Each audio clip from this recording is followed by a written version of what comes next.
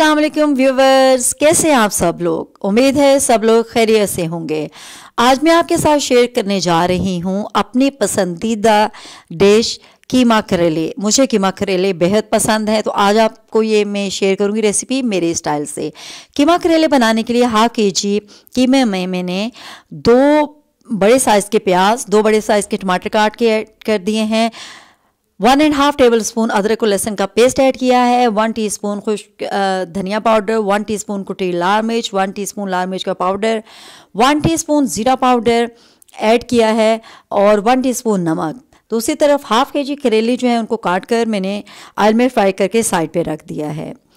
अच्छा कीमे में सारे मसाले ऐड करने के बाद दो ग्लास पानी डालकर, ढककर इतना पकाना है कि कीमा गल जाए और पानी जो है वो खुश्क हो जाए।